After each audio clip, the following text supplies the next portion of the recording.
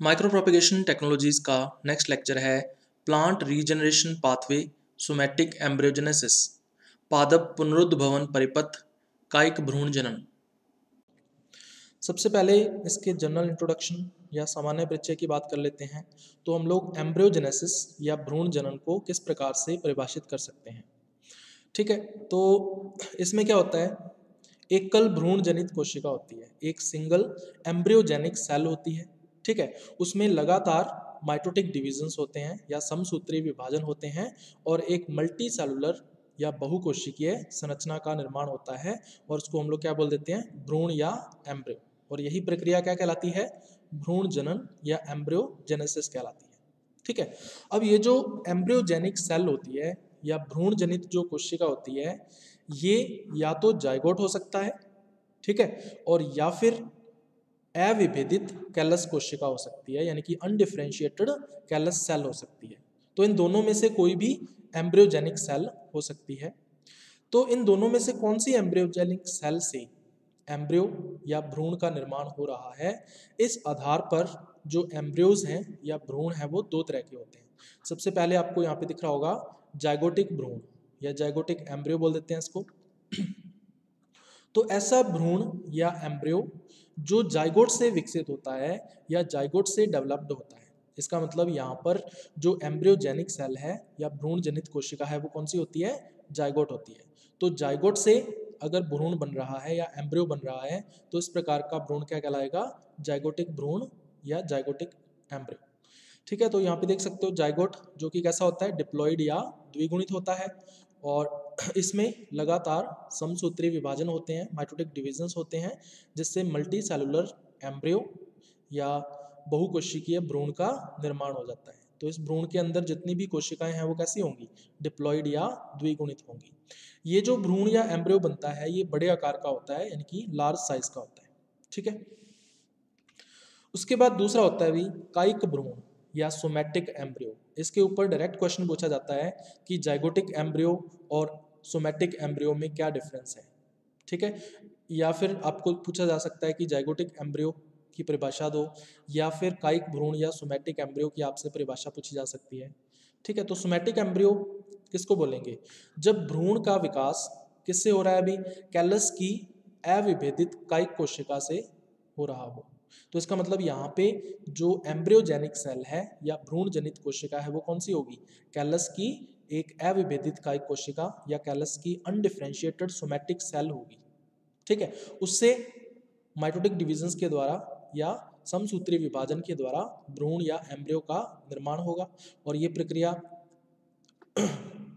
इस प्रक्रिया से जो भ्रूण या एम्ब्रियो बनेगा, उसको हम लोग क्या बोलेंगे? कायिक भ्रूण या सोमैटिक एम्ब्रियो ठीक है? तो इन दोनों टाइप के एम्ब्रियोज या भ्रूणों के अंदर अंतर आपको पता चल गया होगा। तो यहाँ पे देख सकते हो काइक कोशिका या सोमैटिक सेल है, जो कैसी होती है? डिप्लॉइड या द्विगुणित होती है। तो इसमें लगातार समसूत्री विभाजन या माइटोटिक डिविजन्स होंगे और इससे क्या बनेगा? एक एम्ब्रियो या भ्रूण बनेगा। लेकिन ये जो भ्रूण बनता है, वो बहुत ही छोटे साइज़ का होता है या स्मॉल साइज़ का होता है, ठीक है? और इसका नाम क्या पड़ जाता है? भ्रूणाभ। या इसको बोल देते हैं एम्ब्रियोइड, ठीक है? और ये कैसा होगा भाई? डिप्लॉइड होगा और मल्टी सेलुलर होगा, बहु, बहुकोशिकीय होगा और इसकी हर एक कोशिका या सेल कैसी होगी? डिप्लॉइड या द्विगुणित होती है, ठीक है? अब एक टर्म आती है काइक भ्रूण जन्म या इसको बोल देते हैं सोमैटिक एम्ब्रियोजेनेसिस ठीक है? तो ये सोमैटिक एम्ब्रियोजेनेसिस क्या है? एक प्रक्रिया है जिसके द्वारा काइक भ्रूण का निर्माण होता है। ठीक है तो इसको कैसे परिभाषित करेंगे हम लोग?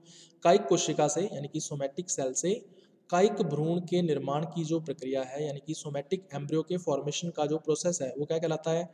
काइक भ्रूण जनन या सोमैटिक एम्ब्रियोजेनेसिस कहलाता है।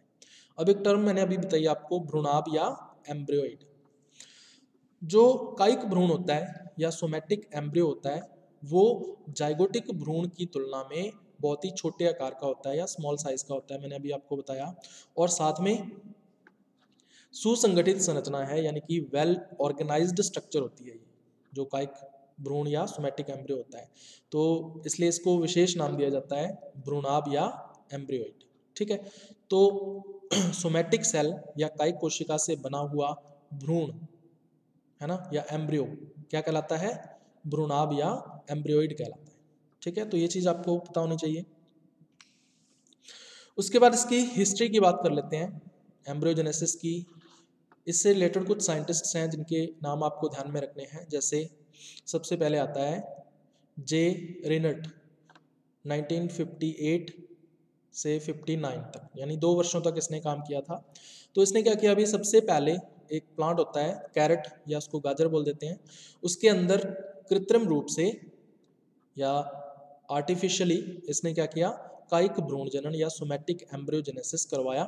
ठीक है? और इसने देखा कि जो भ्रूण है या एम्ब्रियो है वो विकसित हो रहे थे। इसने कैरेट या गाजर की कोई भी काई कोशिका ली सोमैटिक सेल ली और उसका जब इसने कृत्रिम माध्यम के ऊपर या आर्टिफिशियल मीडियम के ऊपर संवर्धन करवाया तो उससे भ्रूण समान संरचना या एम्ब्रियो लाइक स्ट्रक्चर डेवलप हुई। ठीक है? तो कृत्रिम रूप से जो कायिक भ्रूण जनन है या आर्टिफिशियली जो सोमैटिक एम्ब्रियोजेनेसिस है, वो सबसे पहले किसने देखा था? जे रिनर्ट ने देखा था। उसके बाद कुछ साइंटिस्ट और हैं, जैसे एफ़ सी स्टिवार्ड है एम ओ मेप्स है एंड के मियर्स 1958 के अंदर इन्होंने क्या किया अभी? जो कैरेट या गाजर होती है, उसमें स्वतंत्र निलंबित कोशिकाएँ। है ना? यानी कि लिक्विड मीडियम के अंदर या द्रव माध्यम के अंदर फ्रीली या स्वतंत्र रूप से इसने कैरेट की या गाजर की कोशिकाओं को निलंबित किया या सस्पेंड सस्पेंडेड किया, ठीक है? और इसने देखा कि द्रव माध्यम के अंदर या लिक्विड मीडियम के अंदर कायिक भ्रूण या सोमैटिक एम्ब्रियो का निर्माण हो रहा है, ठीक है? तो द्रव माध्यम के अंदर या लिक्विड मीडियम के अंदर कैरेट से या गाजर से कायिक भ्रूण या सोमैटिक एम्ब्रियो का जो फॉर्मेशन है वो किसने देखा? इन तीनों साइंटिस्ट ने देखा। और इसके अलावा इन्होंने ये भी बताया कि जो कोकोनट मिल्क होता है, जो नारियल का पानी होता है है ना? नारियल का पानी आपने पिया होगा। तो नारियल का पानी जो है वो संवर्धन माध्यम के अंदर हम लोग यूज़ कर सकते हैं। क्योंकि उसके अंदर क्या होता है? अभी प्लांट हार्मोन्स होते हैं। जैसे साइटोकाइनिन है, इसके अलावा विटामिन होते हैं, बहुत सारे, है ना? तो जो भी प्लांट ग्रोथ के लिए रिक्वायर्ड एलिमेंट्स होते हैं वो सारे के सारे कोकोनट मिल्क के अंदर या नारियल के पानी के अंदर उपस्थित होते हैं। तो सबसे पहले इसका जो महत्व है काइक भ्रूण जनन के अंदर या सोमैटिक एम्ब्रोजेनेसिस के अंदर, वो किसने बताया था? इन तीन साइंटिस्ट्स ने बताया था। ठीक है? उसके बाद एन एस रंगास्वामी 1961 1961 के अंदर, इसने नींबू के अंदर यानी सिट्रस के अंदर इसने काइक भ्रूण जनन या सोमैटिक एम्ब्रियोजेनेसिस का डिटेल में स्टडी की थी या विस्तार से इसका अध्ययन किया था।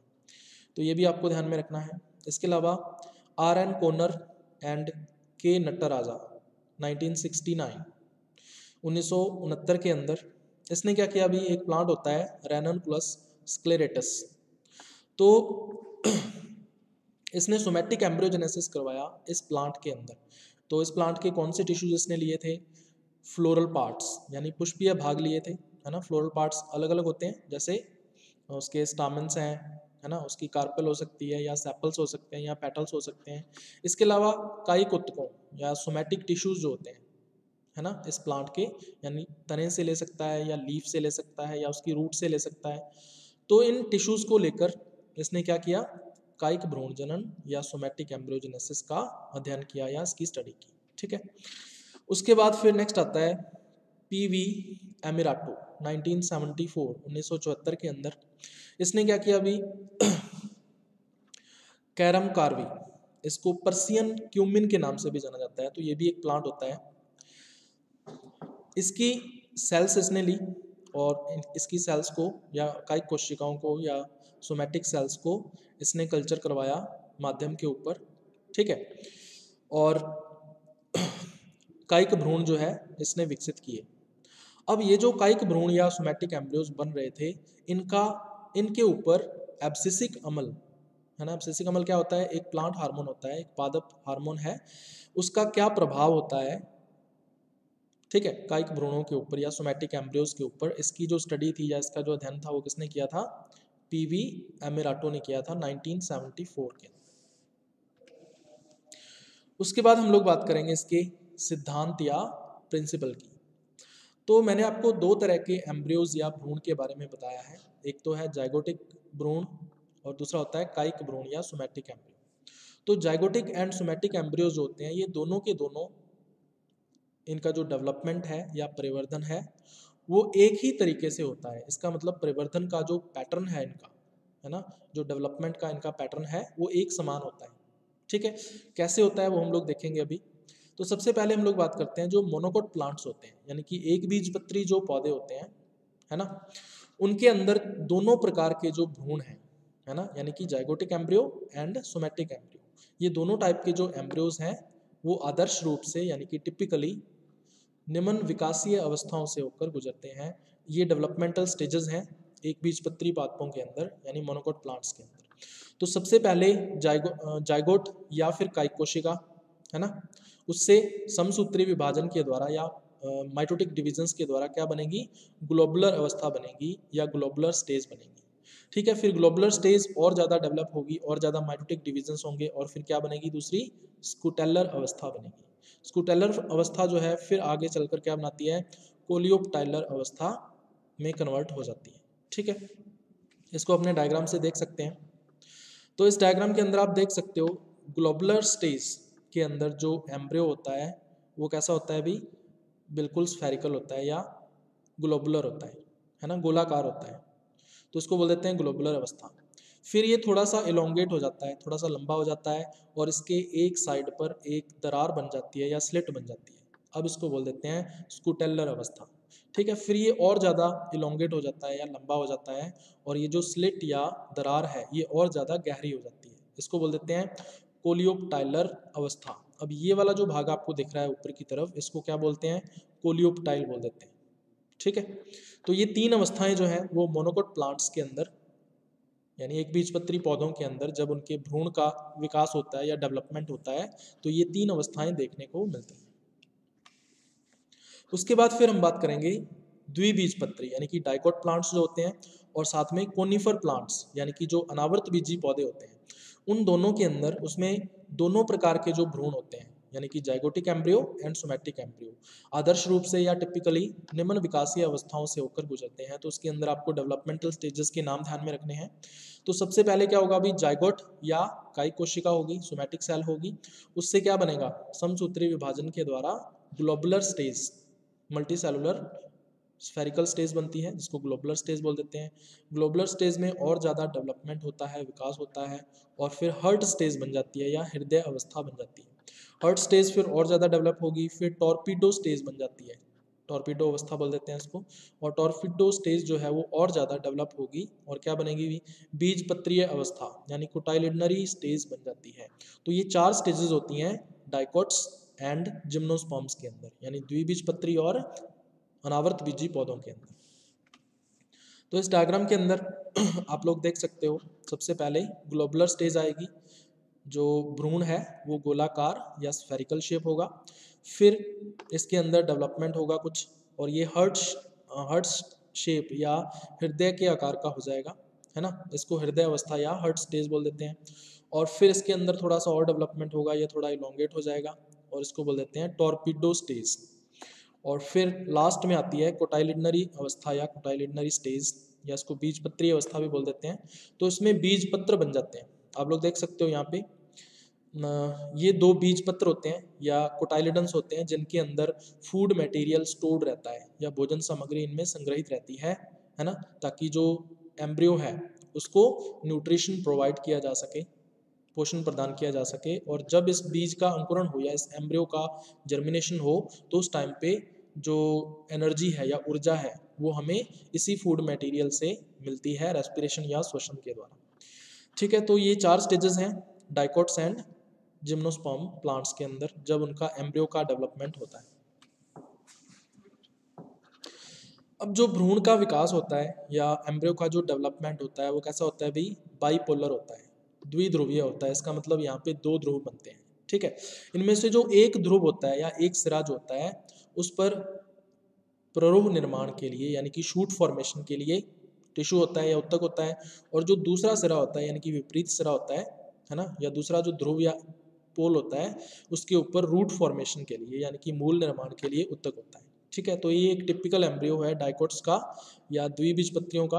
तो इसमें आप देख सकते हो, यहाँ पे एक टर्म आती है प्रांकुर, है ना, या इसको बोल देते हैं प्लूम्यूल तो ये जो प्रांकुर या प्लूम्यूल है, इसमें एक ऐसा उत्तक पाया जाता है, जो आगे डेवलप होकर या विकसित होकर क्या बनाएगा? शूट सिस्टम बना देता है, यानी कि प्ररोह तंत्र का निर्माण कर देता है। जिसके अंदर क्या कुछ आता है अभी? जो ज़मीन के ऊपर वाला भाग होता है पौधे का, जिसमें स्टेम आ जाता है, उसका तना आ जाता है। इसके अलावा शाखाएँ ब्रांचेस आ जाती हैं, पत्तियाँ वगैरह है है ना? लीव्स आ जाती हैं, या और जो भी फूल वगैरह बनते हैं, पुष्प बनते हैं, या फल बनते हैं उसके अंदर फ्रूट्स बनते हैं, है ना?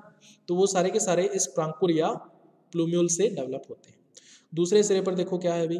मूलांकुर, या रेडिकल है। इस रेडिकल के अंदर एक ऐसा टिश्यू या उत्तक होता है, जो आगे डेवलप होकर किसका निर्माण करता है? रूट सिस्टम या मूल तंत्र का निर्माण करता है। यानी कि जो ज़मीन के नीचे का भाग होता है पौधे के, और ज़मीन के नीचे क्या होता है? इसका रूट सिस्टम या मूल तंत्र होता है, जिसके अंदर उसकी शाखाएँ वगैरह हो सकती हैं। तो वो सारे का सारा किससे बनेगा? मूलांकुर या रेडिकल से बनेगा। तो ये चीज़ आपको ध्यान में रखनी है कि जो भ्रूण का विकास है या एम्ब्रियो का जो डेवलपमेंट है वो कैसा होता है? बाइपोलर या द्विध्रुवीय होता है। चलिए, अब अपने बात करते हैं कि जो डेवलपमेंट है या विकास है वो किस तरह से होता है। तो शुरू में क्या होता है? जो प्रारंभिक कोशिका होती है, यानी कि जो इनिशियल सेल होती है। इनिशियल सेल का मतलब यहाँ पे क्या है अभी? यहाँ पे है इनिशियल सेल मतलब जैसे जाइगोट हो सकता है या फिर क्या हो सकता है? कायिक कोशिका हो सकती है सोमैटिक सेल हो सकती है। तो इस कोशिका के अंदर क्या होता है? पहले एक असमान विभाजन होता है, एक अनइक्वल डिवीज़न होता है, समसूत्री विभाजन होगा ये भी। तो अनइक्वल या असमान विभाजन होने से दो कोशिकाएँ बनती हैं। तो इनमें से एक कोशिका बड़े आकार की होगी और दूसरी कोशिका छोटे आकार की होगी। तो एक छोटी स्मॉल साइज़ की और एक बड़ी यानी लार्ज साइज़ की सेल या कोशिका जो है वो बन जाती है। ठीक है? अब इन दोनों कोशिकाओं में से जो बड़ी कोशिका होती है, यानी कि जो लार्ज सेल होती है, वो कैसी होती है? वैक्यूलेटेड होती है। रिक्तिका में होती है, यानी उसके अंदर बहुत सारी वैक्यूल्स या रिक्तिकाएँ पाई जाती हैं, ठीक है? लेकिन जो छोटी कोशिका होती है या स्मॉल सेल होती है, उसके अंदर जो कोशिका द्रव्य है, या जो उसके अंदर साइटोप्लाज्म होगा, वो कैसा होगा? सघन होगा डेंस साइटोप्लाज्म उसके अंदर होगा, और उसमें कोई भी रिक्तिका या वैक्यूल वगैरह नहीं होगी, और इसी छोटी कोशिका या स्मॉल सेल को हम लोग क्या बोल देते हैं? भ्रूण जनित कोशिका या एम्ब्रियोजेनिक सेल बोल देते हैं, ठीक है? अब ये जो एम्ब्रियोजेनिक सेल है, यानी कि जो छोटी या स्मॉल सेल होती है, इसके अंदर आगे के जो विभाजन है या डिवीज़न है, वो दो तरह के हो सकते हैं। ठीक है? तो सबसे पहले क्या हो सकता है भाई? इसके अंदर अनियमित विभाजन होंगे। अनियमित का मतलब होता है इरेगुलर डिविजन होते हैं इसके अंदर। माइटोसिस होंगे, समसूत्री विभाजन होंगे, लेकिन वो इरेगुलर होंगे, यानी अनियमित होंगे। और अनियमित विभाजन जब होते हैं तो एक कोशिकाओं का एक समूह बनता है जिसके अंदर जिसकी जो शेप है या आकृति है, वो निश्चित नहीं होती है, अनियमित होती है या इरेगुलर होती है। और उसको क्या बोल देते हैं अभी? कैलस बोल देते हैं। तो उसका मतलब कैलस का निर्माण हो सकता है इस भ्रूणजनित कोशिका से। दूसरा क्या हो सकता है भी नियमित व अधिक सुसंगठित विभाजनों के द्वारा। यानी रेगुलर एंड वेल ऑर्गेनाइज्ड अगर सेल डिविजन्स होते हैं, है ना? तो उससे क्या निर्माण होता है अभी? काइक भ्रूण या सोमैटिक एम्ब्रियो का फॉर्मेशन हो जाता है। तो ये जो भ्रूण जनित कोशिका है, उससे या तो कैलस तक बनेगा और या फिर क्या बनेगा? काइक भ्रूण या सोमैटिक एम्ब्रियो बनेगा। ठीक है? चलिए। तो यहाँ पे देख सकते हो आप, ये है इनिशियल सेल या प्रारंभिक कोशिका। इसमें एक अनइक्वल या असमान विभाजन हुआ, जिससे एक बड़ी कोशिका बनी ऊपर की तरफ़, जिसके अंदर बहुत सारी वैक्यूल्स आपको दिख रही होंगी, है ना? या रिक्तिकाएँ दिख रही होंगी।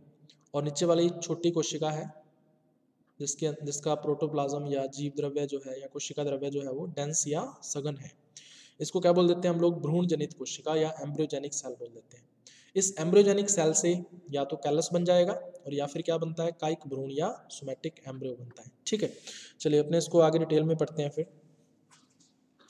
उसके बाद क्या होता है अभी? और ज़्यादा डिविजन्स होते हैं, है ना? और फिर मल्टी सेलुलर स्टेज बन जाती है, जिसको क्या बोल देते हैं? ग्लोबुलर अवस्था विकसित हो जाती है। यानी कि जो भ्रूण है या एम्ब्रियो है, वो गोलाकार या ग्लोबुलर हो जाता है। उसको ग्लोबुलर अवस्था बोल देते हैं। तो इस ग्लोबुलर अवस्था के अंदर जो मूल शिखागर है, यानी कि रूट एपेक्स व प्ररोह शिखागर, यानी कि शूट एपेक्स दोनों के दोनों डेवलप हो जाते हैं। मूल शिखागर से क्या बनेगा? मूल तंत्र बनेगा आगे चलकर, या रूट सिस्टम बनेगा। और जो प्ररोह शिखागर है, इससे क्या बनता है? अभी प्ररोह तंत्र बनता है, यानी कि शूट सिस्टम का निर्माण होता है। ठीक है? ग्लोबुलर अवस्था के बाद फिर और ज़्यादा डेवलपमेंट होगा और बाकी की जो स्टेजेस हैं, है ना, जो अन्य अवस्थाएँ होती हैं, उनसे गुजरता हुआ भ्रूण जो है वो परिपक्वता की ओर बढ़ता है, यानी कि मैचुरेशन जो है, उसकी ओर जो एम्ब्रियो है वो चला जाता है है ना, और ज़्यादा मैच्योर हो जाता है अलग अलग स्टेजेस से गुजरने के बाद, ठीक है। अब अगर अपने जाइगोटिक भ्रूण जनन की बात करें, यानी कि जाइगोट से अगर भ्रूण बन रहा है तो उसमें जो भ्रूण बनेगा वो पूरी तरह से परिपक्व हो जाएगा, पूरी तरह से मैच्योर हो जाएगा। और जो मैच्योर एम्ब्रियो होता है, वो कुछ करेक्टर्स या कुछ लक्षण प्रदर्शित करता है। तो ये कौन कौन से लक्षण हो सकते हैं अभी? सबसे पहला मैच्योर एम्ब्रियो मॉर्फोलॉजी या परिपक्व भ्रूण आकारिकी तो भ्रूण की जो शेप है या बाह्य आकारिकी है या एक्सटर्नल मॉर्फोलॉजी है, वो परिपक्व हो जाती है या मैच्योर हो जाती है। ठीक है? दूसरा कार्बोहाइड्रेट्स लिपिड्स एंड प्रोटीन्स है ना? ये कौन से होते हैं? अभी संग्रहित प्रकार के होते हैं। संग्रहित कार्बोहाइड्रेट्स लिपिड्स व प्रोटीन्स जो हैं, इनका जमाव होना शुरू हो जाता है। यानी storage carbohydrates lipids and proteins होते हैं। इनका एक्यूमुलेशन होना शुरू हो जाता है। कहाँ पर? एम्ब्रियो के अंदर। है ना? तीसरा क्या होता है भाई रिडक्शन इन वाटर कंटेंट जल की मात्रा में कमी। भ्रूण के अंदर जल की मात्रा में कमी आ जाती है। जो जल है, वो किस लिए चाहिए होता है अभी? अंकुरण के लिए चाहिए होता है या जर्मिनेशन के लिए चाहिए होता है। ठीक है? लेकिन जब भ्रूण जायगोट से बन रहा है तो वो किसमें बन रहा होगा? बीज के अंदर बन रहा होगा। और जो बीज या सीड होता है, ठीक है? वो डॉर्मेंट हो जाता है, यानी वो प्रसुप्तावस्था के अंदर चला जाता है। तो वो डॉर्मेंट कब होगा? डॉर्मेंट वो तभी हो सकता है जब उसके अंदर जल की मात्रा कम हो जाए, ठीक है? क्योंकि डॉर्मेंसी या प्रसुप्तावस्था के लिए जल की आवश्यकता नहीं होती है या वाटर की जो रिक्वायरमेंट है वो बहुत ही कम होती है। इसलिए जो मैच्योर एम्ब्रियो होता है या परिपक्व भ्रूण होता है, उसके अंदर जल की मात्रा बहुत ही कम हो जाती है। ठीक है? तो रिडक्शन इन वाटर कंटेंट इसके अलावा जो मेटाबॉलिज्म होता है है ना? या उपापचयन होता है, जो उस, उसमें ग्रेजुअल डिक्लाइन आता है, क्रमिक कमी आती है, यानी कि धीरे धीरे मेटाबॉलिज्म कम होता जाता है। ठीक है? क्योंकि जो भ्रूण होता है, इसको कहाँ जाना है? डॉर्मेंसी के अंदर जाना है या प्रसुप्तावस्था में जाना है तो इसका मतलब इसकी जो मेटाबॉलिक एक्टिविटीज़ हैं या अपपच्चय क्रियाएँ हैं, वो धीरे धीरे धीमी हो जाती हैं स्लो हो जाती हैं, ठीक है? तो ये चार करेक्टर्स हैं, जो कि एक मैच्योर एम्ब्रियो परिपक्व भ्रूण के द्वारा प्रदर्शित की जाते हैं। ये किसमें होता है? जाइगोटिक भ्रूण जनन में होता है। लेकिन जो काइक भ्रूण जनन होता है, यानी कि सोमेटिक एम्ब्रियोजेनेसिस होता है। उसमें जो भ्रूण बनता है काइक भ्रूण या सोमेटिक एम्ब्रियो जो बनता है, वो कभी भी पूरी तरह से मैच्योर या परिपक्व नहीं होता है है ना? बल्कि वो कैसा रहता है? अपरिपक्व रहता है। ठीक है? इसका कारण क्या है? एनवायरमेंटल फैक्टर्स वातावरणीय कारकों के कारण क्या होता है? जो काइक भ्रूण है, यानी जो सोमेटिक एम्ब्रियो होता है, वो अपने सामान्य विकासीय पैटर्न से विचलित हो जाता है। है ना? उसका जो नॉर्मल डेवलपमेंटल पैटर्न होता है, उससे वो डेविएट हो जाता है, यानी कि किसी दूसरे पथ पर या पाथ के ऊपर चला जाता है उसकी जो मेटाबॉलिक एक्टिविटीज़ होती हैं। तो इसके तीन फ्यूचर्स हो सकते हैं या तीन फेट हो सकते हैं, या तीन भविष्य हम लोग कह सकते हैं, हो सकते हैं। तो या तो सोमेटिक एम्ब्रियो जो है, वो क्या बनाता है? कैलस उत्पन्न करता है है ना? जो कायिक भ्रूण जो कि अभी पूरी तरह से विकसित नहीं हुआ है, ये पूरी, ये कैसा है अभी अपरिपक्व है या इमेच्योर है? तो इस इमेच्योर कायिक भ्रूण या सोमैटिक एम्ब्रियो से या तो कैलस उत्पन्न हो सकता है। पहला इसका भविष्य ये है। दूसरा भविष्य क्या हो सकता है अभी? प्रत्यक्ष द्वितीय भ्रूण जनन सेकेंडरी एम्ब्रियोजेनेसिस कर सकता है। ठीक है? यानी कि जो अपरिपक्व भ्रूण है या इमेच्योर एम्ब्रियो है, वो फिर से दोबारा से ग्लोबुलर स्टेज में जाएगा। ग्लोबुलर स्टेज से फिर अदर स्टेजेस में होता हुआ फिर से भ्रूण जनन करेगा या एम्ब्रियोजेनेसिस करेगा। इसको क्या बोलते हैं? डायरेक्ट सेकेंडरी एम्ब्रियोजेनेसिस या प्रत्यक्ष द्वितीयक भ्रूण जनन। तीसरा क्या हो सकता है अभी? असामयिक रूप से अंकुरित, है ना? या फिर क्या हो सकता है? इसका जर्मिनेशन हो सकता है या अंकुरण हो सकता है इसका। अपरिपक्व रूप से या इमेच्योर जर्मिनेशन हो सकता है इस भ्रूण का। ठीक है? और इससे क्या बन सकता है? प्लांटलेट बन सकता है या पौधा बन सकता है। तो ये तीन भविष्य या फेट हो सकते हैं। किसके? अपरिपक्व काइक भ्रूण या इमेच्योर सोमैटिक एम्ब्रियो के। ठीक है? अब जो काइक भ्रूण जनन है सोमैटिक एम्ब्रियोजेनेसिस है, इसी को ही हम लोग करने वाले हैं डिटेल के अंदर। ये दो टाइप का होता है अभी। एक तो होता है डायरेक्ट एम्ब्रियोजेनेसिस या इसको बोल देते हैं प्रत्यक्ष भ्रूण जनन। और दूसरा होता है इनडायरेक्ट एम्ब्रियोजेनेसिस या इसको बोल देते हैं अप्रत्यक्ष भ्रूण जनन। तो सबसे पहले हम लोग देखते हैं कि डायरेक्ट एम्ब्रियोजेनेसिस क्या होता है। तो इसमें क्या होता है, जो एक्सप्लांट की सेल्स होती हैं या कटोत्तक की जो कोशिकाएँ होती हैं, वो कैलस का निर्माण नहीं करती हैं, यानी कैलस नहीं बनेगा उससे। कैलस न बनाकर क्या बना देंगी? सीधे ही भ्रूण में परिवर्तित हो जाती हैं, यानी कि डायरेक्टली ये एम्ब्रियो का फॉर्मेशन कर देती हैं। तो एक्सप्लांट से डायरेक्टली एम्ब्रियो बन जाता है, ठीक है? और इसे हम लोग क्या बोल देते हैं? प्रत्यक्ष भ्रूण जनन या डायरेक्ट एम्ब्रियोजेनेसिस बोल देते हैं। लेकिन डायरेक्ट एम्ब्रियोजेनेसिस बहुत ही कम होता है है ना? ज़्यादातर ये देखने को नहीं मिलता है, बहुत ही कम देखने को मिलता है।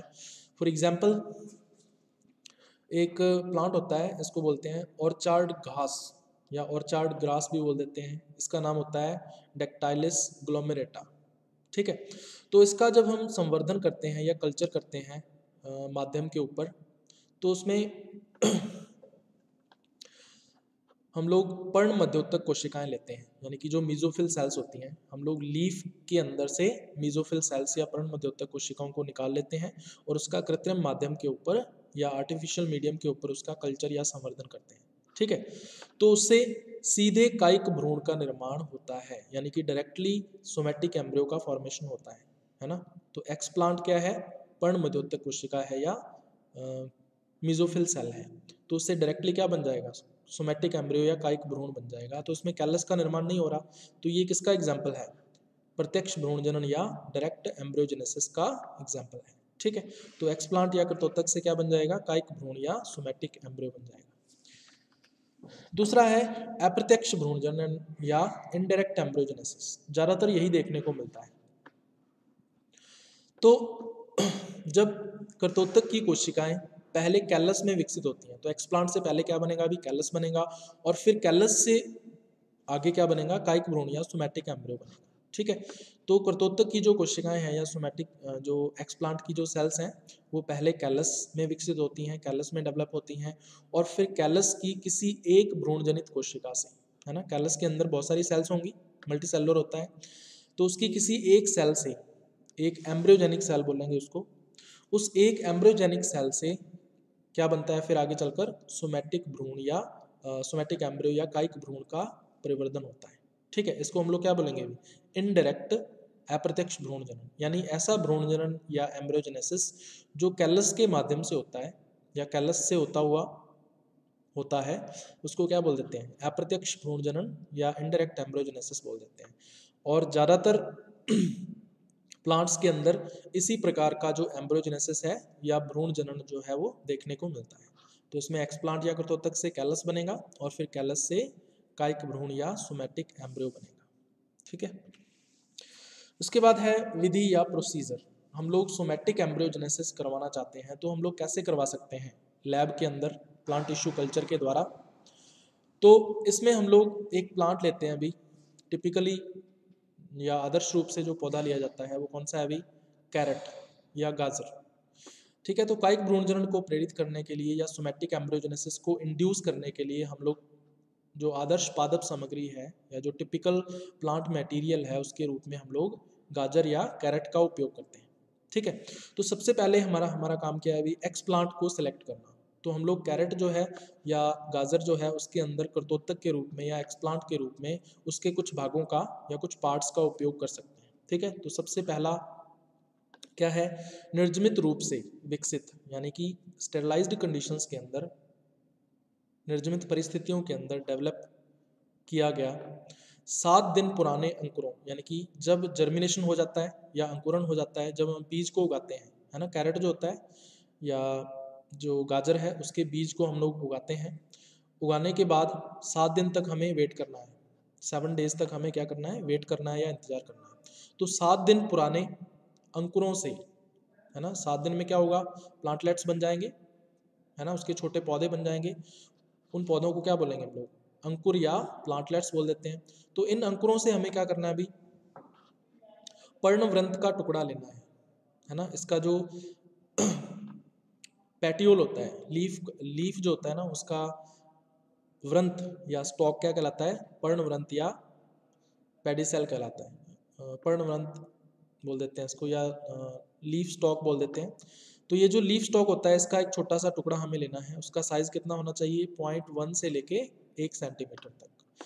या फिर हम लोग क्या कर सकते हैं अभी, इसकी जो रूट होती है, इस अंकुर की जो रूट होती है नीचे की तरफ़ रूट डेवलप होगी। उसका एक सेंटीमीटर छोटा टुकड़ा जो है वो काट लेते हैं ब्लेड की हेल्प से। ठीक है? तो पहली कंडीशन ये हो सकती है एक्सप्लांट के सिलेक्शन में।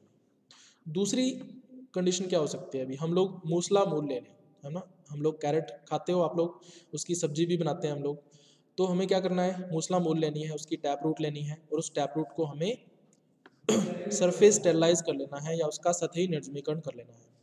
ठीक है? और उसके बाद फिर हमें 0.5 सेंटीमीटर क्यूब है ना? एक घनाकार टुकड़ा जो है कैम्बियम उत्तक का, यानी कैम्बियम टिश्यू का हमें एक टुकड़ा जो है वो लेना है। और उसको हम लोग एक्सप्लांट की तरह या करदोतक के रूप में उसका उपयोग कर सकते हैं। ठीक है तो इस डायग्राम के अंदर आप लोग देख सकते हो कैरेट या गाजर जो है, इसकी मूसला मूल या टैप रूट दे रखी है, इस टैप रूट में से हम लोग कौन कौन से एक्सप्लांट या करदोतक ले सकते हैं? तो सबसे पहला पर्णव्रंत का टुकड़ा, यानी कि इसकी जो लीफ होती है, उसके स्टॉक का जो टुकड़ा है या पीस है, जैसे लीफ कहाँ से डेवलप होगी? ये देखो आप, इस तरह से यहाँ से डेवलप हो रही है। तो पर्णव्रंत का टुकड़ा ले सकते हैं साइज़ कितना होना चाहिए? पॉइंट फाइव से वन सेंटीमीटर लेंथ इसकी होनी चाहिए।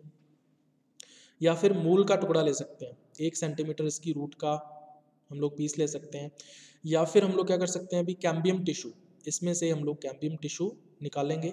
उसका साइज़ कितना होगा? Point five centimetre cube. ठीक है? तो इन तीनों में से कोई भी हम लोग एक्सप्लांट या कर्तोतक के रूप में ले सकते हैं, अगर हम सोमेटिक एम्ब्रियो या काइक भ्रूण को प्रेरित करना चाहते हैं या इंड्यूस करना चाहते हैं।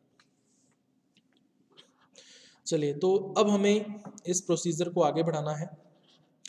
हमें क्या करना है? अभी स्टेरलाइज टेक्निक्स का यूज़ करना है, निर्जमित तकनीकों का उपयोग करना है और जो करतोतक या एक्सप्लांट हमने सेलेक्ट किए हैं, उसको एकल रूप से, यानी कि हमें सिर्फ़ एक एक्सप्लांट लेना है और उसको एकल रूप से एक अर्ध ठोस एमएस माध्यम पर स्थापित करते हैं, है ना? सेमी सॉलिड जो एमएस माध्यम होता है मीडियम होता है, उसके ऊपर उसको इस्टेब्लिश कर देते हैं, स्थापित कर देते हैं। इस माध्यम के अंदर क्या होना चाहिए अभी? दो चीज़ें होनी चाहिए। एक तो टू फोर डी और दो percent sucrose two four D कितना होना चाहिए? Zero point one milligram per litre होना चाहिए। और जो सुक्रोज है वो कितनी होनी चाहिए? दो परसेंट होनी चाहिए। अब ये जो कल्चर होता है इसको हम लोग अंधेरे में रखते हैं। डार्क डार्कनेस के अंदर इसको उष्मायन करते हैं या इसकी इस, इसका इनक्यूबेशन करते हैं। ठीक है? तो इस माध्यम में जो एक्सप्लांट होता है वो क्या कर देता है अभी? कैलस उत्तक का उत्पादन करता है, यानी कि कैलस टिश्यू जो है वो बहुत सारा हमें ऑप्टेन हो जाएगा। इसको हम लोग डायग्राम से देख लेते हैं भाई। एक पैट्री डिश है हमारे पास, इस पैट्री डिश में हमने अगार माध्यम डाला हुआ है। वही एमएस माध्यम, उसको अगार माध्यम भी बोल देते हैं, क्योंकि उसके अंदर अगार जो है, वो केमिकल यूज़ किया जाता है। अब ये जो मीडियम है, इसके अंदर मैंने दो चीज़ें आपको बताई हैं। एक तो टू फोर डी डालना है, इसकी मात्रा कितनी होनी चाहिए? Zero point one milligram per litre और दूसरा सुक्रोज लेनी है कितनी? दो परसेंट तो ये दो चीज़ें इसके अंदर ज़रूर होनी चाहिए। बाकी न्यूट्रिएंट्स भी होते हैं, लेकिन ये दो हमें ऐड करने हैं एक्स्ट्रा या अतिरिक्त रूप से। तो उसके बाद हमें क्या करना है अभी? इस माध्यम के ऊपर हमें एक्सप्लांट या करतोतक जो है उसको इस्टेब्लिश कर देना है या स्थापित कर देना है। और फिर अंधेरे में, यानी डार्कनेस के अंदर इसका इंक्यूबेशन या उष्मायन करना है। तो चार सप्ताह के पश्चात आफ्टर द फोर वीक्स आप लोग देखोगे कि ये जो मीडियम होगा या माध्यम होगा, इसके ऊपर एक इरेगुलर या एनिमित कोशिकाओं का समूह बन जाएगा और इसको क्या बोलेंगे हम लोग? कैलस बोलेंगे। ठीक है? चलिए। अब हमें क्या करना है अभी? जब चार सप्ताहों के पश्चात जो कैलस हमें प्राप्त होता है उसको हमें छोटे छोटे पीसेस के अंदर काटना है। और हमें एक पीस लेना है कैलस तक का। उसका वज़न कितना होना चाहिए भी वेट कितना होना चाहिए? Zero point two gram zero point two gram हमने कैलस टिश्यू ले लिया। अब हमें क्या करना है? इसको द्रव माध्यम में स्थानांतरित करना है। तो द्रव माध्यम किसके अंदर होगा भाई? ये अगार रहित होना चाहिए। द्रव माध्यम तभी बन सकता है जब हम उसके अंदर अगार नहीं डालेंगे। क्योंकि अगार का काम क्या होता है? माध्यम को ठोस बनाना। तो द्रव माध्यम किसमें ले सकते हैं? फ्लास्क के अंदर ले सकते हैं। फ्लास्क का साइज़ कितना है? ढाई सौ है। ठीक है?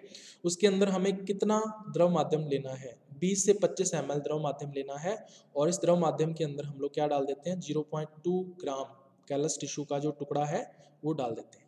ठीक है? और इससे क्या शुरू हो जाता है अभी? कोशिका निलंबन संवर्धन, यानी सेल सस्पेंशन कल्चर जो है, वो स्टार्ट हो जाएगा। अब हमें इसका शुमायन करना है या इंक्यूबेशन करना है तो इंक्यूबेशन जो है निलंबन संवर्धन या सस्पेंशन कल्चर का वो किस पर किया जाता है? गायरेटरी शेकर पर किया जाता है। तो अब इन फ्लास्कों को गायरेटरी शेकर पर रखकर हम लोग उसको हिलाते हैं, है ना? ऑटोमेटिक उसमें सिस्टम होता है। तो स्पीड कितनी रखनी है अभी? 125 से 160 आरपीएम स्पीड हमें रखनी है। उस पर इसको घुमाते हैं और तापमान कितना रखना है अभी? 25 डिग्री सेंटीग्रेड तापमान होना चाहिए। ठीक है? और जो लाइट की प्रेजेंस या एब्सेंस है, उसका यहाँ पर कोई भी इफ़ेक्ट नहीं पड़ता है। तो प्रकाश की उपस्थिति या अनुपस्थिति जो है, वो नाजुक नहीं होती है। यानी कि लाइट की प्रेजेंस या एब्सेंस जो है, वो यहाँ पर क्रिटिकल नहीं होती है। है ना? तो लाइट दें तो भी कोई प्रॉब्लम नहीं है, अगर ना दें तो भी कोई प्रॉब्लम नहीं आती यहाँ पे। तो इस डायग्राम के अंदर आप देख सकते हो। एक फ्लास्क है। और इस फ्लास्क के अंदर हमने लिक्विड मीडियम लिया है, द्रव माध्यम लिया है, कितना? 20 से 25 एम। इसमें अगार आपको नहीं मिलाना है तो ये कैसा होना चाहिए? अगार रहित होना चाहिए। ये फ्लास्क का साइज़ कितना है अभी? ढाई सौ फ्लास्क है और इसमें ज़ीरो पॉइंट दो ग्राम कैलस जो टिश्यू है, इसको हम लोग डाल देते हैं और फिर कॉटन प्लग से इसको बंद कर दिया जाता है और फिर इसको हमें कहाँ रखना है? गायरेटरी शेकर के ऊपर रखना है। तो ये इस तरह का गायरेटरी शेकर होता है, इसके ऊपर आपको इस फ्लास्क को रख देना है। अब इसको रोटेट करवाना है। ये जो आपको बेस दिख रहा है इसका गायरेटरी शेकर का, ये इस तरह से आगे पीछे हो सकता है। तो आगे पीछे होने की जो स्पीड है वो आपको कितनी रखनी है? 125 से 160 आरपीएम यानी राउंड पर मिनट आपको रखनी है। और तापमान कितना देना है अभी? 25 डिग्री सेंटीग्रेड तापमान पर इसका उष्मायन या इंक्यूबेशन करना है। अब प्रत्येक चार सप्ताह में इसका मतलब हर एक चार सप्ताह के पश्चात या after the each four weeks आपको क्या करना है अभी कोशिका निलंबन से, है ना? कोशिका निलंबन जो है या सेल सस्पेंशन जो है वो तैयार हो जाता है इस गैरेटरी शेकर के ऊपर चार सप्ताहों के अंदर। तो ये जो कोशिका निलंबन या सेल सस्पेंशन बनता है, उसमें से आपको कितना लेना है? पाँच एम निकालना है फ्लास्क में से और उसको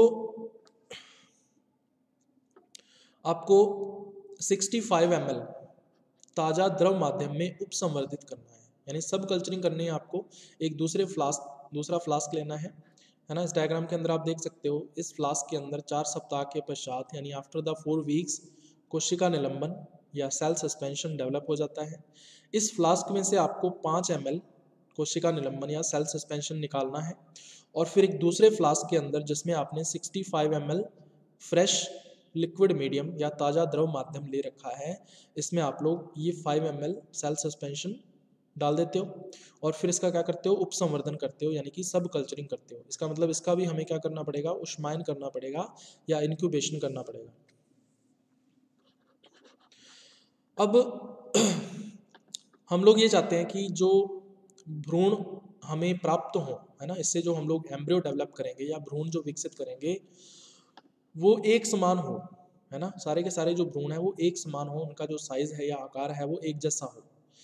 तो एक समान भ्रूण समष्टि, यानी कि इक्वल एम्ब्रियो पॉपुलेशन निर्माण को प्रेरित करने के लिए या फॉर्मेशन को इंड्यूस करने के लिए हम लोग क्या करते हैं अभी? ये जो कोशिका निलंबन हम लोग बनाते हैं या सेल सस्पेंशन हम लोग डेवलप करते हैं, इसको हम लोग छलनियों से छान लेते हैं, है ना? सीव्स होती हैं हमारे पास ये किसकी बनी होती हैं? अभी स्टेनलेस स्टील की बनी हुई होती हैं। ठीक है? मैश छलनियाँ बोलते हैं इनको, या मैश शीव बोल देते हैं सीव्स बोल देते हैं। उनकी एक श्रृंखला से, श्रृंखला का मतलब ये होता है कि एक से ज़्यादा छलनियाँ होती हैं, जो कि एक क्रम के अंदर लगी हुई होती हैं, है ना? तीन या चार सीव्स वो एक क्रम के अंदर लगी हुई होंगी, इसको अपने डायग्राम से देखेंगे। तो इस कोशिका निलंबन को सेल सस्पेंशन को इसमें से गुजारा जाता है या पास किया जाता है। अगर कैरेट के लिए या गाजर के लिए हम लोग बात करें तो छलनियों का जो आकार है छिद्र आकार या पोर साइज़ है, वो कितना होना चाहिए? 74 माइक्रोमीटर है ना? चौहत्तर माइक्रोमीटर जो छिद्र आकार है या पोर साइज़ है, वो छलनियों का होना चाहिए। तो ये जो पोर साइज़ है, वो करता क्या है अभी? एकल कोशिका, यानी कि सिंगल सेल्स कैरेट की सिंगल सेल्स को अलग कर देता है। वह अनेक छोटे कोशिकीय गुच्छों, यानी कि स्मॉल सेलुलर क्लस्टर्स जो है, वो निलंबन के अंदर उत्पन्न कर देता है या डेवलप कर देता है। इस डायग्राम में आप देख सकते हो अभी फ्लास्क है हमारे पास, जिसमें हमने क्या लिया है? सेल सस्पेंशन या कोशिका निलंबन लिया है। अब हमें इसको तीन छलनियों से या तीन सीव से आपको छानना है। ये ये जो सीव्स हैं या छलनियाँ हैं, ये किसकी बनी हुई है? स्टेनलेस स्टील की बनी हुई है। ठीक है, आप देख सकते हो, एक, दो और तीन। टोटल तीन छलनियाँ हैं। इन तीनों छलनियों की एक श्रृंखला में से हम लोग इस कोशिका निलंबन या सेल सस्पेंशन को छानते हैं। तो इस लास्ट वाली जो छलनी या सीव होती है, इस इसको पास करने वाला जो कोशिका निलंबन होता है या सेल सस्पेंशन होता है, इसमें एकल कोशिकाएँ या सिंगल सेल्स होती हैं, किसकी? कैरेट की, ठीक है? और साथ में कुछ कोशिकीय समूह या सेलुलर क्लस्टर्स होते हैं तो यहाँ पर हमें छनित या फिल्टर्ड सेल सस्पेंशन या कोशिका निलंबन प्राप्त हो जाता है, इस बीकर के अंदर हम लोग इसको कलेक्ट कर लेते हैं। अब हमें कायिक भ्रूण जनन करवाना है है ना? सेल सस्पेंशन तो हमने बना लिया। अब उससे हमें कायिक भ्रूण जनन करवाना है, यानी सोमैटिक एम्ब्रियोजेनेसिस करवाना है। तो कायिक भ्रूण को बनाने के लिए या सोमैटिक एम्ब्रियोजेनेसिस को प्रेरित करने के लिए या इंड्यूस करने के लिए हम लोग क्या करते हैं अभी? जो क्षणित कोशिका निलंबन होता है, यानी जो फिल्टर्ड सेल सस्पेंशन होता है, ये वाला, ठीक है? उसका एक भाग लेते हैं। ठीक है? और उस एक भाग को हम लोग स्थानांतरित करते हैं, ठीक है? द्रव माध्यम में या फिर ठोस माध्यम के ऊपर, है ना? तो द्रव या ठोस दोनों में से कोई भी माध्यम लिया जा सकता है, लेकिन कंडीशन क्या है कि ये जो द्रव या अर्ध ठोस माध्यम हम लोग ले रहे हैं, ये टू फोर डी रहित होना चाहिए। इसका मतलब इसमें टू फोर डी नहीं होना चाहिए। अगर इसमें टू फोर डी उपस्थित है तो हमारा कायिक भ्रूण कभी भी नहीं बनेगा। तो इसमें हमें टू फोर डी नहीं डालना है। तो टू फोर डी रहित द्रव माध्यम ले सकते हैं या फिर टू फोर रहित अर्ध ठोस माध्यम ले सकते हैं। इनके ऊपर इस कोशिका निलंबन के एक भाग को या सेल सस्पेंशन के एक पार्ट को हम लोग स्थापित कर देते हैं या ट्रांसफ़र कर देते हैं। ठीक है? अब हम क्या करते हैं अभी? मीडियम के अंदर एब्सिसिक एसिड डालते हैं। ठीक है? और एब्सिसिक एसिड कितना डालना है? 0.1 से लेके 1 माइक्रो माइक्रो मिलीलीटर तक। ठीक है? एबीए जो है, यानी एब्सिसिक एसिड जो है, वो डालते हैं। ये एब्सिसिक एसिड जो है, ये दो काम करता है। तो कौन कौन से काम करता है? सबसे पहला, सामान्य भ्रूण निर्माण को प्रेरित करेगा, यानी कि नॉर्मल एम्ब्रियो फॉर्मेशन जो है, उसको ये इंड्यूस करेगा।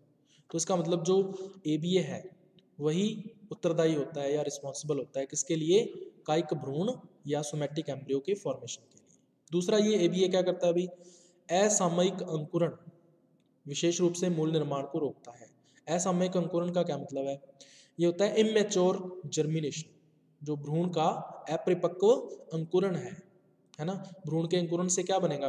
रूट सिस्टम बनेगा, नीचे की तरफ़, ऊपर की तरफ़ शूट सिस्टम बन सकता है। तो ये जो एबीए है, वो क्या करेगा? इस अंकुरण को रोक देगा, है ना? ताकि हम लोग जो सोमेटिक एम्ब्रियो डेवलप करना चाहते हैं या विकसित करना चाहते हैं, वो विकसित हो सके। ठीक है? तो ये ए बी विशेष रूप से क्या करता है अभी? जो रूट फॉर्मेशन है, यानी कि मूल का जो निर्माण है, उसको रोकने का काम करता है। ठीक है? तो अब इस पूरे के पूरे सेटअप को हम लोग क्या करते हैं अभी? अंधेरे के अंदर, ये जो कल्चर्स होते हैं या संवर्धन होते हैं, इनको अंधेरे के अंदर या डार्कनेस के अंदर इसका उष्मायन जो है वो किया जाता है या इंक्यूबेशन किया जाता है। तो इस तरह से आप देख सकते हो, एक फ्लास्क के अंदर हमने लिक्विड मीडियम द्रव माध्यम या फिर ठोस माध्यम जो है वो लिया हुआ है। इस ठोस माध्यम के अंदर टू फोर डी आपको नहीं डालना है, टू फोर डी रहित होना चाहिए। अगर हमने इसमें टू फोर डी डाल दिया तो हमारा जो स्मेटिक एम्ब्रियो है या काइक भ्रूण है वो नहीं बनेगा, ठीक है? इसके अलावा इसमें क्या डालना अभी? आपको ए बी ए डालना है। कितना डालना है? ज़ीरो पॉइंट वन से लेके वन माइक्रो मिलीलीटर डालना है, ठीक है?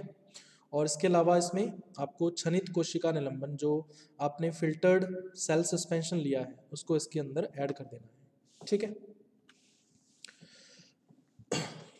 तीन से चार सप्ताहों के पश्चात क्या होगा भी after the three to four weeks जो प्रत्येक संवर्धन होगा या हर एक कल्चर होगा, उसके अंदर अनेक कायिक भ्रूण जो है या बहुत सारे सोमेटिक एम्ब्रियोज जो हैं, वो बन जाते हैं। ठीक है? जो कि अलग अलग विकासीय अवस्था के अंदर या अलग अलग डेवलपमेंटल स्टेज में होते हैं। ठीक है? कोई टॉर्पीडो स्टेज में होगा, कोई ग्लोबुलर स्टेज में होगा, है ना? कोई कोटाइलिडनरी स्टेज में होगा तो अलग अलग स्टेजेस होंगी इन एम्ब्रियोस की या इन भ्रूणों की। तो आप लोग इसके अंदर देख सकते हो डायग्राम के अंदर। तो इस फ्लास्क के अंदर तीन से चार सप्ताह के पश्चात after the three to four weeks जो काइक भ्रूण है या सोमेटिक एम्ब्रियोज जो हैं, वो डेवलप हो जाते हैं। और इस फ्लास्क के अंदर देख सकते हो आप अब आपको क्या करना है अभी? ये जो सोमेटिक एम्ब्रियोज या काइक भ्रूण बने हैं, इनसे हमें प्लांटलेट्स बनाने हैं या नए पौधे बनाने हैं। तो प्लांटलेट्स निर्माण के लिए या पादपक निर्माण के लिए हम लोग क्या करते हैं? काइक भ्रूणों को अगार माध्यम के ऊपर स्थापित करते हैं, है ना? अगार मीडियम के ऊपर इसको स्टैब्लिश कर देते हैं अर्धठोस माध्यम के ऊपर, लेकिन इस मीडियम के अंदर टू फोर डी नहीं होना चाहिए। तो इस तरह से हमने इसको मीडियम के ऊपर एस्टैब्लिश कर दिया है। आफ्टर सम वीक्स कुछ सप्ताह के पश्चात आप लोग देखोगे कि प्लांटलेट्स जो है पौधे जो हैं, वो डेवलप हो जाते हैं। अब इन पौधों के आगे के परिवर्तन के लिए अगर हम आगे इसको डेवलप करना चाहते हैं तो हम लोग क्या करते हैं अभी? इन प्लांटलेट्स को या पादपकों को छोटे गमलों के अंदर या स्मॉल पॉट्स के अंदर, है ना? या वर्मिकुलाइट्स के अंदर स्थानांतरित कर देते हैं। यानी पॉट्स के अंदर हम लोग वर्मी कंपोस्ट डालकर और सॉइल के साथ उसको इस्टेब्लिश कर देते हैं। ठीक है? तो इस तरह से पॉट के अंदर हम लोग प्लांट को यहाँ पे इस्टेब्लिश कर देते हैं। ठीक है? ताकि इसका आगे का डेवलपमेंट या परिवर्तन जो है वो हो सके। उसके बाद लास्ट इसमें आता है इसका इम्पोर्टेंस या महत्व। तो हम लोग एम्ब्रियोजेनेसिस के द्वारा या भ्रूण जनन के द्वारा अपस्थानिक भ्रूण जो होते हैं, यानी कि जो एडवेंटिशियस एम्ब्रियोज होते हैं सोमेटिक एम्ब्रियो या काइक भ्रूण को हम लोग अपस्थानिक भ्रूण या एडवेंटिशियस एम्ब्रियो भी कह सकते हैं। तो अपस्थानिक भ्रूणों का हम लोग बड़े पैमाने पर, यानी कि लार्ज स्केल पर प्रोडक्शन या उत्पादन जो है वो कर सकते हैं। तो सबसे पहला इंपॉर्टेंस इसका ये है। दूसरा जो अपस्थानिक भ्रूण होते हैं, यानी जो सोमेटिक एम्ब्रियोज होंगे वो कैसे होते हैं? द्विध्रुवीय या बाईपोलर होते हैं। ठीक है? तो सीधे ही क्या करते हैं ये डायरेक्टली संपूर्ण प्लांटलेट का फॉर्मेशन या सीधे ही संपूर्ण पौधे का निर्माण ये कर देते हैं। तो हमें अलग से इसकी सब कल्चरिंग या उपसंवर्धन करने की ज़रूरत नहीं पड़ती है। हमें इसको रूट मीडियम के अंदर या रूट फॉर्मेशन मीडियम या मूल निर्माण माध्यम में अलग से इसको स्थानांतरित करने की आवश्यकता नहीं पड़ती है। ठीक है? तो ये भी एक इसका इंपॉर्टेंस है या महत्व है। इसके अलावा जो काइक भ्रूण होते हैं या सोमेटिक एम्ब्रियोज होते हैं, उनके अंदर संग्रहित भोजन नहीं होता है। स्टोर्ड जो फ़ूड मटेरियल है वो नहीं होता है। ठीक है? तो इनका अगर अपने कैप्सूलीकरण कर लें, है ना? यानी इनको आर्टिफिशियली या कृत्रिम रूप से इनके चारों ओर जेल की एक लेयर चढ़ा दें कैप्सूल बना लें इसको तो हम लोग क्या बना सकते हैं अभी?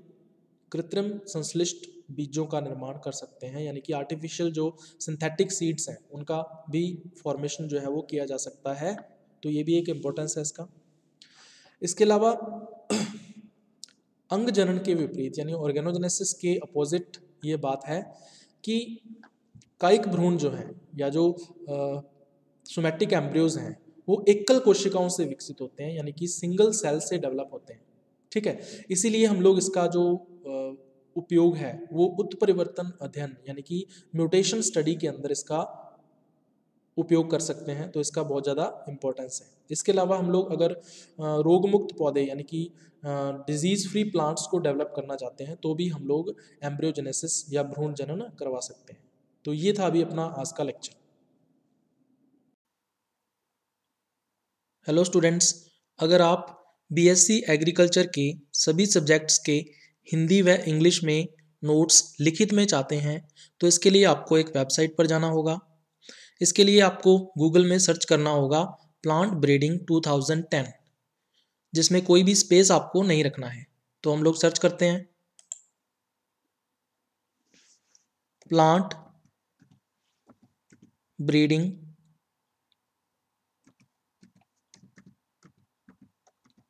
two thousand ten